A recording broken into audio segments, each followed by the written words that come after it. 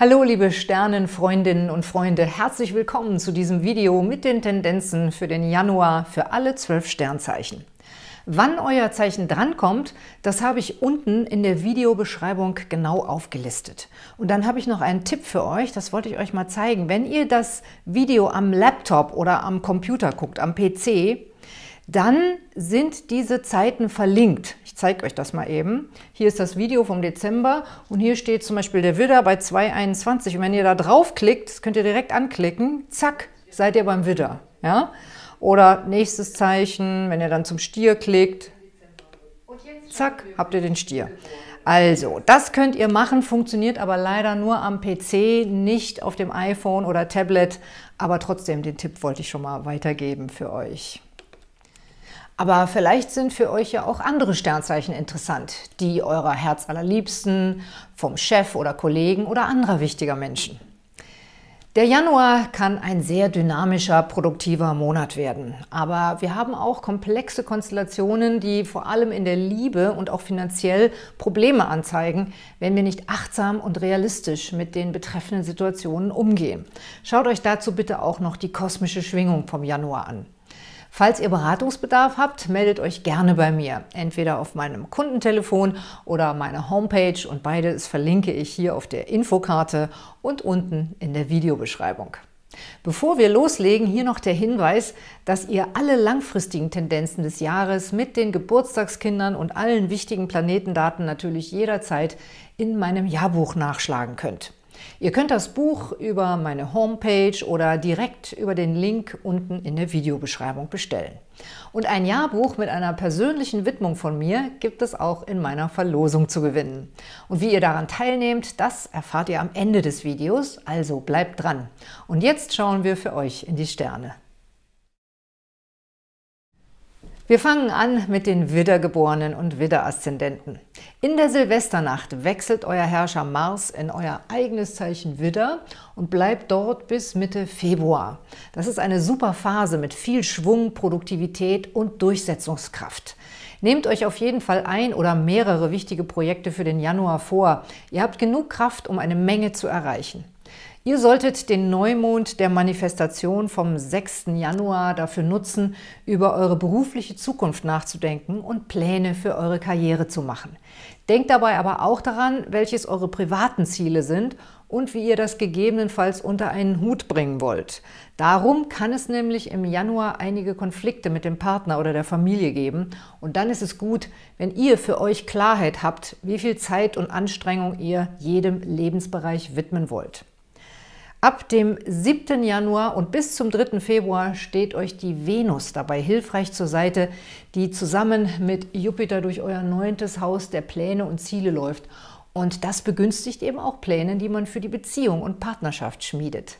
Wenn ihr alleinstehend seid, könnt ihr der Liebe auf einer Reise oder Fortbildung oder in einem Hobbykurs begegnen. Beruflich seid ihr besonders kreativ in der Zeit vom 11. bis zum 17. Januar. Dann kommt eine etwas schwierige Phase, denn zwischen dem 18. und dem 23. Januar kann euer Herrscher Mars von Saturn blockiert werden.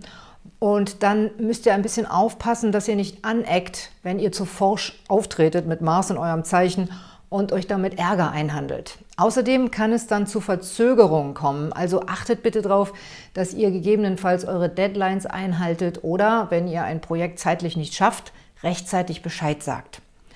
Am 20. Februar geht die Sonne in den Wassermann und das ist eine für euch sehr günstige Energie. In den kommenden vier Wochen ist eine gute Phase für euch, um Freundschaften und auch das berufliche Netzwerk zu pflegen. Am 21. morgens ist dann der Vollmond mit der Mondfinsternis. Der kann euch nervös machen, denn er fällt auch noch in die Phase mit der Marsblockade. Es könnte euch also passieren, dass ihr, um dem Druck zu entgehen, euch in irgendein Vergnügen stürzt und darüber beruflich Wichtiges liegen lasst. Dann müsst ihr einfach schauen, dass ihr dann keine wichtigen Abschlusstermine oder Deadlines verpasst. Das lässt euch sonst nämlich nicht gut aussehen. Ab dem 24. Januar habt ihr aber dann wahrscheinlich Grund zum Feiern, wenn ihr alles gut hingekriegt habt. Danach wird die kosmische Energie für das Widderzeichen sehr angenehm.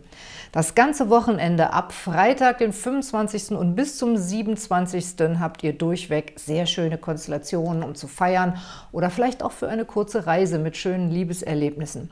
Und der Monat dürfte auch angenehm für euch ausklingen. Natürlich habt ihr auch im Januar durchweg Spannungsaspekte zu Saturn und Pluto, die starken beruflichen Druck anzeigen. Mehr darüber erfahrt ihr in meinem Jahrbuch und auch, welche Geburtstagskinder diese Aspekte empfangen. Und jetzt kommen wir zu den Stiergeborenen und Stieraszendenten. Ihr gehört zu denjenigen, die mit den ganzen Konstellationen am wenigsten Stress haben. Und wenn doch, dann empfangen andere Planeten oder vielleicht auch euer Aszendent die schwierigen Aspekte. Aber die Stiersonne kann sich weitgehend ungestört entfalten und an der Verwirklichung ihrer Herzensprojekte arbeiten. Diejenigen Stiere, die sich über die Feiertage um die Familie gekümmert und für ein festliches Weihnachten gesorgt haben, können auch einfach mal ein bisschen ausspannen. Der Neumond der Manifestation am 6. Januar fällt bei euch ins Haus der Pläne und Ziele und ist ideal geeignet, um über langfristige und wichtige Lebenspläne zu meditieren und nachzudenken. Dabei geht es weniger um Spaßprojekte als um ganz ernsthafte, langfristige Sachen, die für eure Zukunft entscheidend sind. Es kann sein, dass euch im Januar noch ein bisschen der Schwung fehlt, weil Energieplanet Mars sich für euch bedeckt hält. Deswegen nehmt euch nicht zu viel auf einmal vor, sondern teilt euch eure Vorhaben in kleinere Schritte auf. Für die Liebe habt ihr im Januar sehr schöne Sterne. Wenn ihr flirten wollt, ist dafür die erste Woche besonders gut geeignet. Vielleicht gibt es ja einen Silvesterflirt, den ihr noch weiter ausbauen könnt. Wenn ihr in einer festen Beziehung seid, dann habt ihr wahrscheinlich richtig Lust, euch mit euren Herzallerliebsten öfter mal zurückzuziehen und Zeit zu zweit zu genießen, besonders um die Monatsmitte herum. Nur das Thema Freundschaften scheint manchmal etwas heikel zu sein. Kann es sein, dass jemand aus dem Freundeskreis an eurer Partnerschaft etwas auszusetzen hat oder sogar ein Auge auf euch geworfen hat? Eure feste Partnerschaft sollte im Zweifelsfalle Priorität haben und ihr solltet nicht zulassen, dass eure Bekannten irgendwelche Zweifel stiften. Ab dem 20. Januar rücken berufliche und Karrierethemen mehr in den Fokus, denn dann geht die Sonne in den Wassermann und aktiviert für die kommenden vier Wochen euer zehntes Haus der Karriere. Und der Vollmond als Mondfinsternis am 21. fällt auch in euer zehntes Haus. Die Konstellation kann die Aprilstiere ein bisschen nervös machen. Vielleicht könnt ihr aber auch einfach nur nicht schlafen. Dann ärgert euch nicht, sondern nutzt die Zeit, um euch über eure beruflichen Ziele Gedanken zu machen. Und falls ihr gute Ideen habt, schreibt sie auf. Eventuell kommen in den Tagen um den Vollmond auch Familienthemen auf den Tisch und da kann es dann darum gehen, wie ihr Beruf und Privatleben unter einen Hut bekommt. Im Januar solltet ihr ruhig der Familie ab und zu den Vorzug geben, denn ab Mitte Februar bekommt ihr einen richtigen Energieschub und wollt euch dann wahrscheinlich mit voller Kraft in eure beruflichen oder persönlichen Projekte stürzen. Deshalb kann es gar nicht schaden, wenn ihr es im Januar noch ein bisschen ruhiger angehen lasst und vielleicht die Zeit auch nutzt, um mit dem Partner oder der Familie über eure Pläne für die Zukunft zu sprechen, damit alle an einem Strang ziehen. Und weiter geht es mit dem Ausblick für die Zwillinge-Geborenen und Zwillinge-Aszendenten. Für euch sieht es nach wichtigen Entwicklungen in Liebe und Partnerschaft aus. Der Neumond der Manifestation fällt bei euch ins achte Haus. Das ist der Bereich der Verbindlichkeiten und der lang bestehenden Partnerschaften. Und gleichzeitig wird sich ja nun bis Dezember 2019 Glücksplanet Jupiter in eurem Partnerhaus aufhalten. Und da gesellt sich ab dem Neumond auch die Venus dazu. Das sind wunderbare Aussichten für Geselligkeit und ihr seid sehr beliebt. Wenn ihr fest liiert seid, könnt ihr den Neumond nutzen, um über eure gemeinsame Verantwortlichkeit und Anschaffungen nachzudenken. Vielleicht steht nun auch eure gemeinsame Steuererklärung an oder ihr durchforstet mal eure Versicherungen, was ihr da noch braucht. Auch Erbschaftsthemen können für euch wichtig werden. Über alles, was in dieser Hinsicht ansteht, könnt ihr zu Neumond nachdenken und euch überlegen, wie ihr das angehen wollt in den nächsten vier Wochen oder auch zwölf Monaten. Wenn ihr Singles und auf der Suche nach Flirts seid, stehen die Sterne sehr günstig für tolle neue Begegnungen, besonders ab dem Neumond, vor allem ab dem siebten, wenn auch die Venus dann noch in euer Partnerhaus geht. Deshalb denkt doch darüber nach, was ihr euch von einer Beziehung wünscht und auch, wie viel Verantwortung ihr übernehmen könnt und ob ihr euch wirklich fest binden wollt. Chancen gibt es 2019 genug, aber nicht immer ist von Anfang an klar, ob eine neue Liebe auch Substanz hat. Für euch ist es sehr wichtig, dass ihr euch genug Zeit nehmt, einen aufregenden neuen Flirt näher kennenzulernen.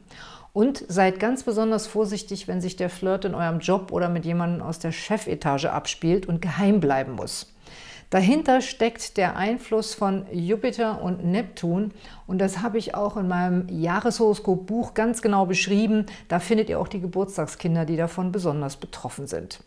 Die Leidenschaft ist jedenfalls im Januar groß für euch. Besonders um die Monatsmitte herum sieht es nach einer starken erotischen Anziehungskraft aus, vielleicht sogar mit jemandem, mit dem ihr schon befreundet seid, weil nämlich der Mars in eurem Freundschaftshaus steht und sich eben hier mit der Venus verbindet. Und beruflich kommt ihr am besten voran, wenn ihr eure guten Kontakte pflegt, denn aus eurem Netzwerk kommen nützliche Impulse und Anregungen.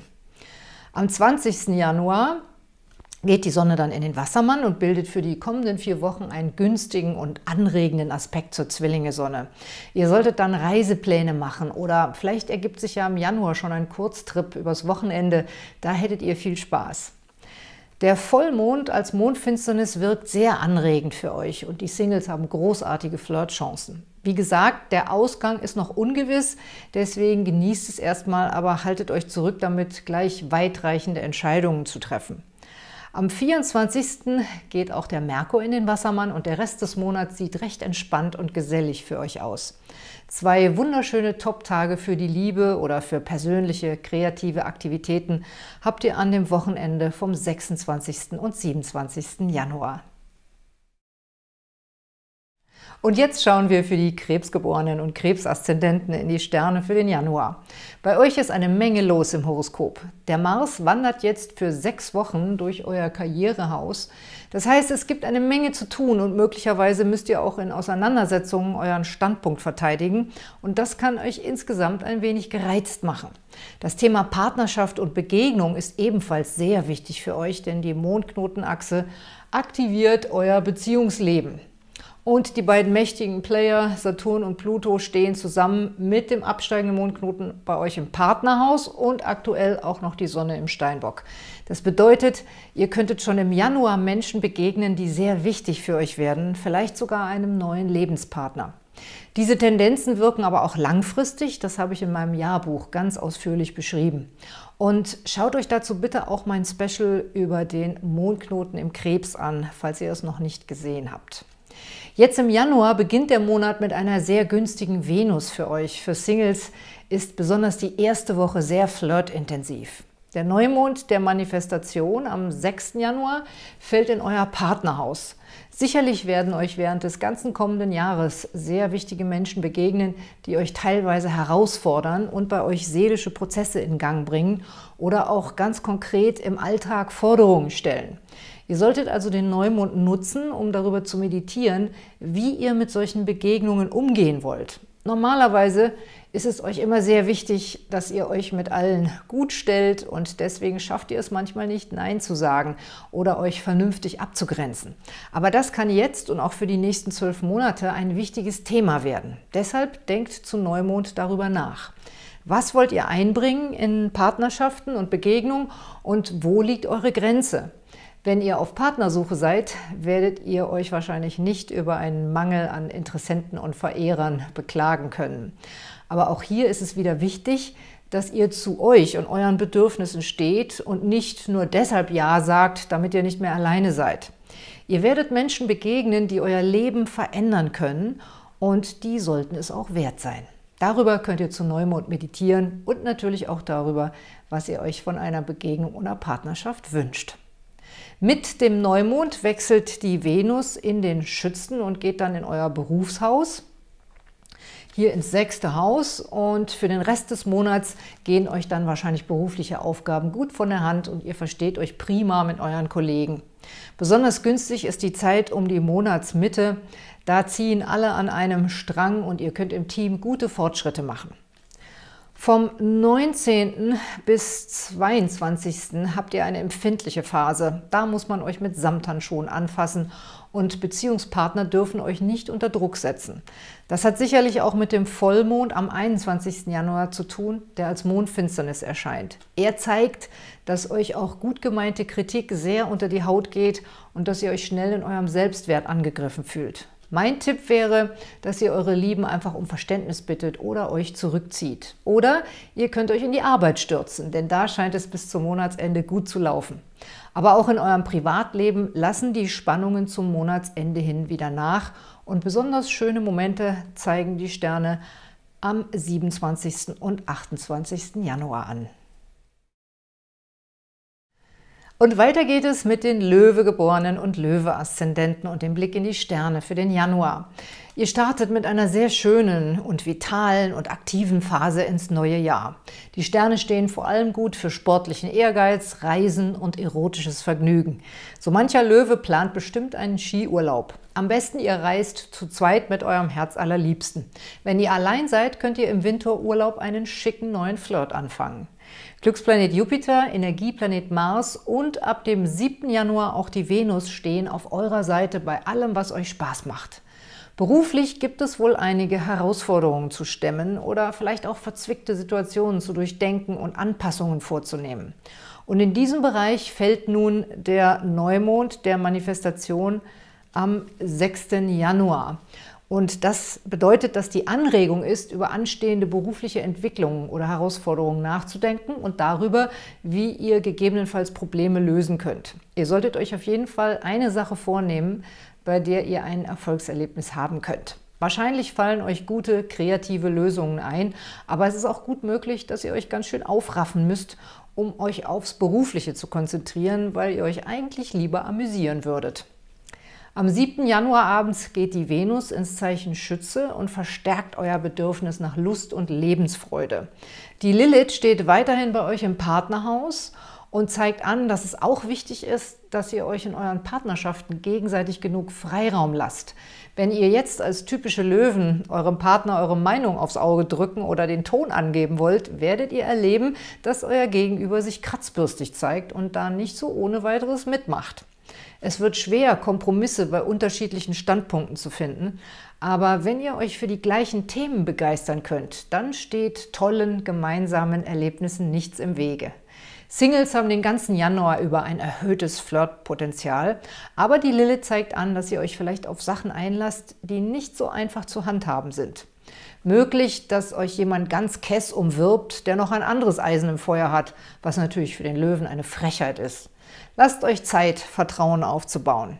Wenn ihr aber doch ein wenig mit dem Feuer spielen wollt, müsst ihr euch einfach darüber im Klaren sein, dass die Sache einen ungewissen Ausgang hat. Ab der Monatsmitte prickelt es so gewaltig, dass ihr womöglich alle Vorsicht außer Acht lasst. Löwen sind eigentlich sehr treu, ihrem Partner und auch ihren Prinzipien, aber im Januar können sie doch mal in Versuchung geführt werden. Am 20. Januar geht die Sonne in den Wassermann und aktiviert dann für die kommenden vier Wochen euer Partnerhaus. Und auch der Vollmond bzw. die Mondfinsternis am 21. Januar fällt auf eure Beziehungsachse und lässt es weiterhin gewaltig prickeln. Aber wenn ihr ein bisschen auf euch aufpasst und auch die Gefühle der beteiligten anderen respektiert, glaube ich, dass ihr im Januar überwiegend positive Erfahrungen machen werdet. Der 25. und 26. sind zwei richtige Top-Tage für euch. Wenn ihr in der Zeit eingeladen seid, geht unbedingt hin. Ihr werdet tolle Leute treffen und euch prächtig amüsieren. Jetzt schauen wir für die Jungfrau-Geborenen und Jungfrau-Aszendenten. Der Januar scheint ein sehr produktiver Monat für euch zu werden. Bestimmt habt ihr längst ein Herzensprojekt in Arbeit und ihr freut euch schon darauf, zu Jahresbeginn die Ärmel hochzukrempeln und weitere Fortschritte damit zu machen. Saturn, Pluto und die Sonne stehen in günstigen Aspekt zur Jungfrau-Sonne und ihr äh, kommt bei allem, was euch Spaß macht und sinnvoll erscheint, gut voran.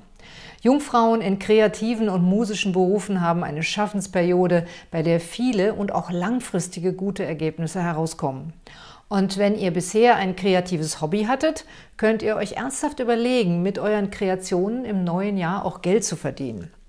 Zum Neumond der Manifestation am 6. Januar könnt ihr überlegen, was ihr verwirklichen wollt und wie ihr davon auch profitieren könnt. Saturn und Pluto stehen bei euch im Bereich der Kreativität. Da geht es also nicht nur um Spaß, sondern auch darum, Dinge zu erschaffen oder Projekte zu verfolgen, die erfolgversprechend und einflussreich sind. Die Liebe ist auch ein sehr wichtiges Thema. Falls ihr einen Flirt habt, kümmert euch am besten gleich in der ersten Januarwoche drum, denn dann steht die Venus noch besonders günstig. Ab dem 7. Januar wandert sie dann für den Rest des Monats in den Schützen und in euer Familienhaus. Das ist auch eine schöne Venus-Position. Sie zeigt Geselligkeit und Besuch bei euch zu Hause an. Auch Glücksplanet Jupiter in eurem vierten Haus zeigt gute Tendenzen für alles Häusliche, zum Beispiel, falls ihr überlegt, in eine größere Wohnung umzuziehen oder euch ein Eigenheim zuzulegen. Bei ganz großen Vorhaben würde ich euch jedoch raten, damit noch bis September abzuwarten, denn vorher kann es diesbezüglich noch einige Unklarheiten geben und auch Liebesangelegenheiten können eure Entscheidungen zum Wohnen noch verändern. In eurem Partnerhaus steht auch 2019 das ganze Jahr über der Neptun. Das begünstigt romantische Beziehungen und neue Flirts, kann euch aber auch den klaren Blick auf die Realität einer Partnerschaft vernebeln. Auf diese langfristige Konstellation bin ich im Jahreshoroskopbuch ausführlich eingegangen und auch darauf, welche Geburtstagskinder diese Aspekte empfangen. Im Januar können sich für die Singles unter euch heiße Flirts ergeben, aber wahrscheinlich wird sich frühestens zum Monatsende zeigen, ob die Sache Hand und Fuß hat. Sehr schön stehen die Liebessterne für die festliierten Jungfrauen. Ihr solltet euch ab der Monatsmitte öfter mal Zeit zu zweit nehmen und das erotische Potenzial, das in der Luft liegt, sinnlich auskosten. Dafür wäre das Wochenende vom 19. und 20. Januar perfekt. Am 20. geht die Sonne in den Wassermann und am 21. haben wir dann den Vollmond als Mondfinsternis. Er fällt bei euch auf die Heilerachse. Wenn ihr als Heiler oder Berater tätig seid, wundert euch nicht, wenn viele Vollmondverwirrte den Weg zu euch finden und für euren guten Rat dankbar sind. Mit dem Vollmond kann es auch zu Spannungen in eurer festen Partnerschaft kommen. Wahrscheinlich geht es darum, wie viel Zeit ihr in eure persönlichen Projekte steckt und ob sich darüber eventuell euer Partner vernachlässigt fühlt. Doch ab dem 24. und bis zum Monatsende kehrt wieder mehr Harmonie ein und Konflikte lassen sich beilegen. Und die sinnliche Position der Liebessterne zeigt, dass so manche Versöhnung im Bett stattfindet. Und als nächstes kommt der Ausblick für die Waagegeborenen und Waage-Aszendenten im Januar. In der Silvesternacht geht der Mars in euer Partnerhaus und bleibt dort bis Mitte Februar. Das kann Konflikte in euren persönlichen und geschäftlichen Partnerschaften anzeigen. Kritisch ist vor allem die erste Januarwoche. Da solltet ihr Auseinandersetzungen aus dem Weg gehen. Danach unterstützt euch die Venus, wenn es etwas zu besprechen gibt. Für euch fällt der Neumond der Manifestation ins vierte Haus der Familie und deshalb bietet es sich an, dass ihr über eure Familienthemen nachdenkt. Was wollt ihr ändern und was wollt ihr manifestieren im nächsten Jahr? Es kann auch anstehen, von Vergangenem loszulassen oder Ahnenforschung zu betreiben oder ganz konkret euer Heim zu entrümpeln. Für manche Wagen steht auch ein Umzug an. Macht euch Gedanken über diese Themen und findet euren persönlichen Standpunkt dazu, damit ihr bei Entscheidungen mehr Stärke und Klarheit habt. Die Sterne raten euch auch, darüber nachzudenken, wie ihr und eure Familie, sei es die Herkunftsfamilie oder die selbst gegründete Familie, euch gegenseitig unterstützen könnt. Am 7. Januar abends geht die Venus in den Schützen und unterstützt euch dann für den Rest des Monats, was die etwas streitlustige Energie von Mars im Partnerhaus gut ausgleicht. Ich denke, dass diese Kombination der Planeten euch sogar dabei helfen kann, euren Standpunkt klar zu machen und Entscheidungen zu treffen. Auseinandersetzungen in euren Beziehungen haben dann eine eher anregende Wirkung und helfen euch dabei, euren eigenen Standpunkt zu finden. Für flirtwillige Wagen sind die Konstellationen ab dem 11. Januar und für den Rest des Monats besonders schön und anregend und so mancher Flirt wird sich wahrscheinlich so gestalten, dass ihr an den schönen Spruch denken müsst, was sich liebt, das neckt sich. Beruflich läuft es auch gut, vor allem wenn ihr in einem kreativen Beruf oder mit Marketing zu tun habt. Aber ihr könnt die Sterne auch nutzen, um euch selbst gut darzustellen und durch freundlichen Kontakt mit den Kollegen für gute Stimmung zu sorgen. Bei Vereinbarungen und Verträgen achtet darauf, dass alles fair abläuft und verteidigt eure Position gegebenenfalls. Am 20. Januar geht die Sonne in den Wassermann und aktiviert dann für vier Wochen euer fünftes Haus der Lebensfreude. Das ist ein super schöner Aspekt. Sorgt also dafür, dass euch Zeit für Freizeitvergnügen bleibt oder auch für erotische Stunden mit eurem Herz allerliebsten. Lilith steht ebenfalls in diesem Bereich und fordert euch auf, eurer persönlichen Kreativität Raum zu geben und dieses Thema wird auch durch den Vollmond mit der Mondfinsternis am 21. Januar verstärkt. Vielleicht teilt ihr euch eure Zeit am besten so ein, dass ihr in den letzten zehn Tagen des Monats auch ein bisschen Freiraum für euch habt. Sprecht euch gut mit euren Familienmitgliedern ab, wer welche Aufgaben übernimmt, sodass ihr auch ein bisschen Unterstützung bekommt. Der 25. und 26. sind zwei Top-Tage für euch, für die Liebe und gegebenenfalls für eine Versöhnung im Bett und auch für den Rest des Monats sind die Tendenzen positiv und harmonisch. Und jetzt geht es weiter mit den Skorpiongeborenen und Skorpion-Aszendenten. Ihr habt einen guten Start ins neue Jahr, denn die Venus steht in der ersten Woche noch in eurem Zeichen und sorgt für Harmonie. Wenn ihr Single und auf der Suche seid, ist es die beste Woche des Monats, um zu flirten. In der zweiten Monatshälfte lauft ihr Gefahr, beim Flirten mit dem Falschen anzubandeln. Seid da bitte vorsichtig. Der Mars im Widder steht bis Mitte Februar in eurem Berufshaus und deswegen spüren viele von euch einen Drang, bei der Arbeit Gas zu geben. Der Neumond der Manifestation vom 6. Januar fällt bei euch ins dritte Haus der Kommunikation und des Denkens. Und da stehen ja auch die großen Player Saturn und Pluto, die schon länger dafür sorgen, dass ihr besonders nachhaltig und genau plant und überlegt und auch bei eurer Selbstdarstellung und euren neuen Projekten auf den langfristigen Effekt achtet. So könnt ihr diesen Neumond nutzen, um über eure Zukunftspläne nachzudenken, die langfristig euer Leben beeinflussen und diese am besten aufzuschreiben. Das wird bestimmt eine sehr nützliche Liste, auf die ihr immer wieder zurückgreifen könnt. Ab dem 7. Januar wechselt die Venus in den Schützen und geht dann in euer Geldhaus, wo auch Jupiter steht. Deshalb wird es ein finanziell günstiger Monat. Entweder ihr seid zu Weihnachten reich beschenkt worden oder ihr seid einfach mit eurem gut gefüllten Konto ins neue Jahr gestartet. Allerdings kann euch diese Konstellation auch dazu verführen, das Geld mit vollen Händen auszugeben. Um die Monatsmitte herum könnt ihr wirklich gute und nützliche Anschaffungen machen. Ab dem 19. Januar steigt die Versuchung, mehr Geld fürs Vergnügen auszugeben, als ihr eigentlich geplant hattet. Am 20. Januar geht die Sonne in den Wassermann und aktiviert dann für die kommenden vier Wochen euer Familienhaus und da findet dann auch am 21. der Vollmond als Mondfinsternis statt. Das könnte zu Spannungen im Familienkreis äh, führen, wobei es dann wieder darum geht, wer wie viel Freiraum bekommt oder auch, ob Vorhaben auch durchgezogen werden. Weil ihr zurzeit sehr weise und vorausschauend denkt, könnt ihr gemeinsam mit den Familienmitgliedern an einer Lösung arbeiten. Am ehesten empfinden die Geborenen der ersten Dekade diese Spannung. Sie sollten dafür sorgen, dass sie auch mal Zeit für sich haben. Wenn ihr doch sehr unter Strom steht, könnt ihr diese Energie gut kanalisieren, indem ihr euch im Job voll einbringt. Davon abgesehen dürfte der Rest des Monats recht harmonisch für euch verlaufen.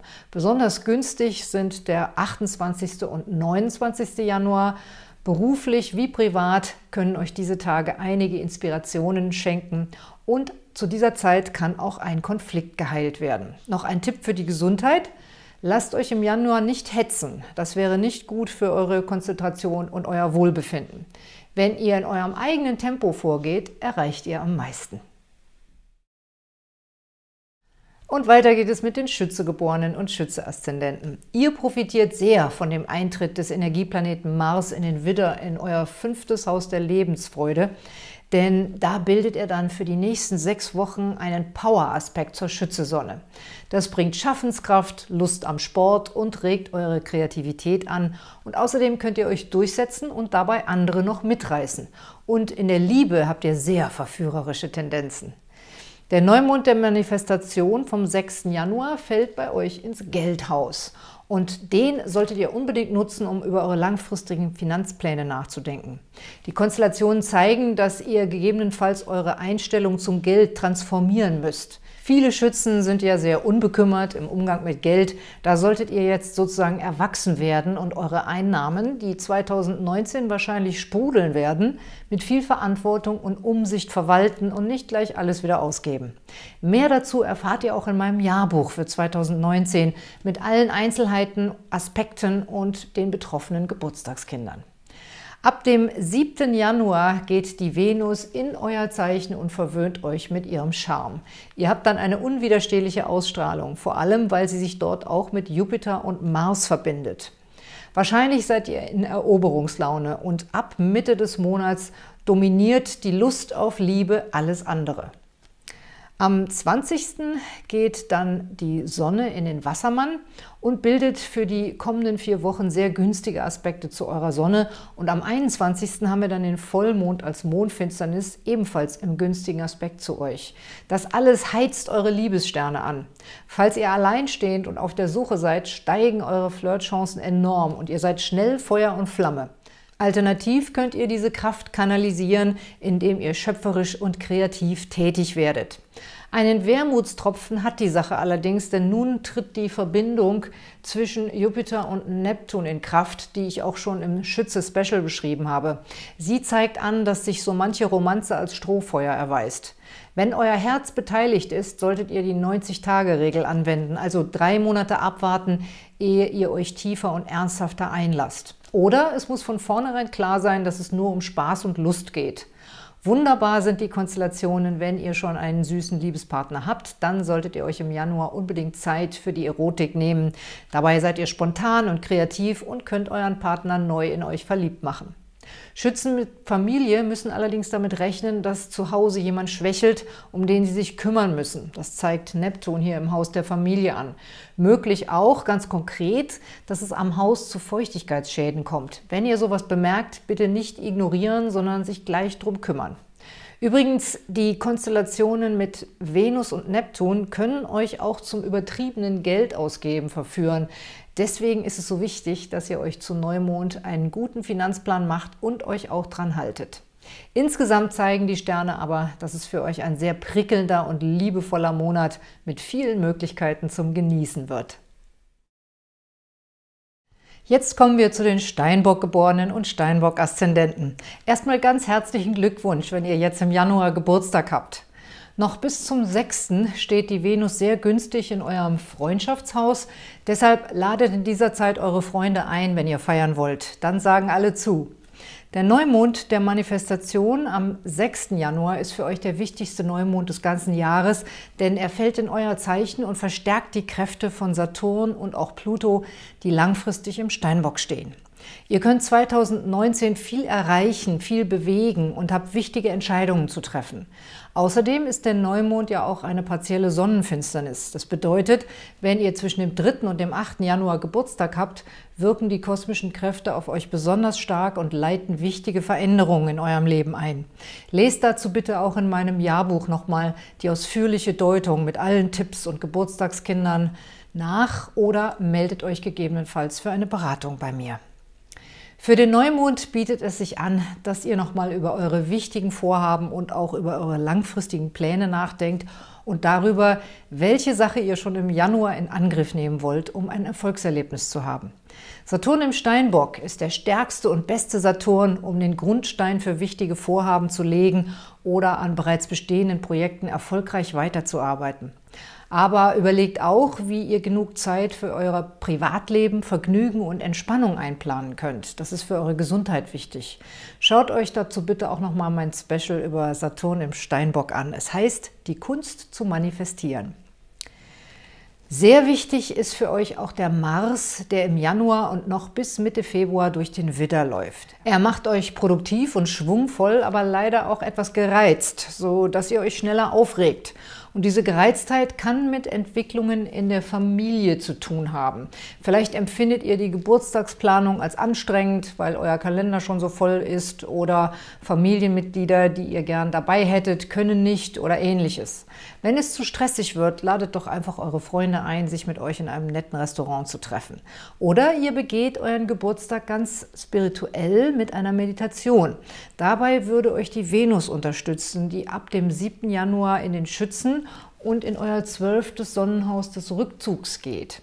Ihr spürt dann, wie wichtig es für euch ist, öfter mal innezuhalten und nach innen zu lauschen. Es sind gute Sterne, um Wünsche ans Universum abzusenden und einfach mal dran zu glauben, dass sich manche Probleme auf wundersame Weise lösen werden, wenn ihr ein bisschen ins Vertrauen geht. Zwischen dem 11. und dem 20. Januar haben wir schöne Aspekte. Sie zeigen an, dass sich vielleicht eure Familie oder euer Partner heimlich eine Überraschung für euch einfallen lassen. Für Singles stehen die Sterne dann sehr verführerisch. Womöglich deutet sich eine heimliche Liebschaft an. Aber ihr seid völlig zu Recht skeptisch gegenüber allem, was kompliziert werden könnte. Besonders zu Vollmond am 21. Januar können die Menschen sehr emotional reagieren und das würde euch unter Druck setzen. Egal ob Single oder fest liiert, ihr fahrt bis zum Monatsende am besten, wenn ihr euch auf sicherem Terrain bewegt und mit vertrauenswürdigen Leuten umgebt. Und lasst zwischendurch einfach mal ein bisschen los. Es sind Menschen da, die euch lieben und die euch etwas Gutes tun wollen. Und weiter geht es mit den Tendenzen für die Wassermann-Geborenen und Wassermann-Aszendenten. Herzlichen Glückwunsch, wenn ihr im Januar Geburtstag habt. Eure Tendenzen für gute Freundschaft und schöne Geburtstagspartys stehen ganz ausgezeichnet. Oder ihr werdet selbst eingeladen, zum Beispiel von Freunden mit Sternzeichen Steinbock. Gelegenheiten zum Feiern gibt es viele und dank eines schwungvollen Mars-Aspekts habt ihr den ganzen Monat über viel Power, sowohl zum Feiern als auch zum Arbeiten. Der Neumond der Manifestation am 6. Januar fällt in euer zwölftes Haus der Spiritualität und des Rückzugs. Wenn ihr euch für die Kräfte der geistigen Welt interessiert, könnt ihr zu Neumond über eure spirituellen Pläne und Ziele für das Jahr nachdenken. Aber auch ganz weltlich orientierte Wassermänner brauchen regelmäßig den Rückzug und Zeit für sich, um ihre Inspirationen und Ideen zu sortieren. Das kann auch ein Faktor für Gesundheit und Heilung für euch sein. In dem Fall könnt ihr zu Neumond überlegen, wie ihr die dafür nötigen Freiräume in eurem Leben erschaffen könnt.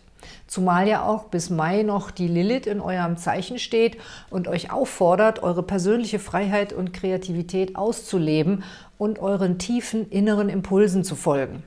Es würde mich nicht wundern, wenn so mancher Wassermann spontan beschließt, über den Geburtstag wegzufahren, um sich zum Beispiel mit Freunden, die weit entfernt wohnen, zu treffen. Freundschaften sind für euch wichtig und glücksbringend und ganz besonders im Januar. Deshalb trefft euch mit euren Freunden und nutzt auch gute Gelegenheiten, um Business-Kontakte zu pflegen. Zwischen dem 10. und dem 24. Januar sind die Aspekte besonders schön für gesellige Aktivitäten, die euch auch beruflich voranbringen. Das ist auch eine sehr prickelnde Zeit zum Flirten, wenn ihr noch Single auf der Suche seid. Am 20. Januar frühmorgens geht die Sonne dieses Jahr in euer Zeichen und aktiviert dann für vier Wochen eure Vitalität, Lebensfreude und Ausstrahlung. Und wenn ihr in den ersten Tagen des Wassermanns Geburtstag habt, fällt die Mondfinsternis vom 21. Januar auf eure Sonne.